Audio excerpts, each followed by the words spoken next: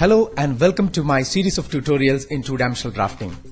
One of the major feature of AutoCAD is the ability of the software to create 2D drawings. A civil engineer can create planned sections and elevations using AutoCAD. A mechanical engineer can make mechanical fabrication drawings. An electrical engineer can create electrical circuit diagrams to perform electrical system design. So what is so special about 2D drafting using AutoCAD? The main speciality is that you can create a 2D drawings with speed and accuracy.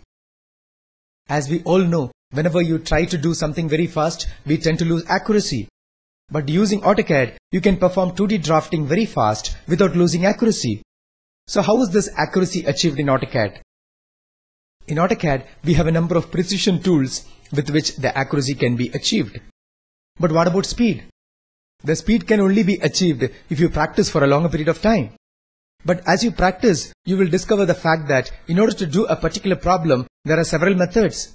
But your ability is in identifying that particular path of least resistance, which is called the best practice.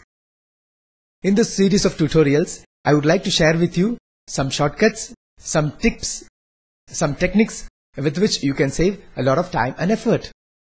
Hope you will go through all the tutorials in two-dimensional drafting and get back to me for any clarifications. Thank you very much and may God bless you all.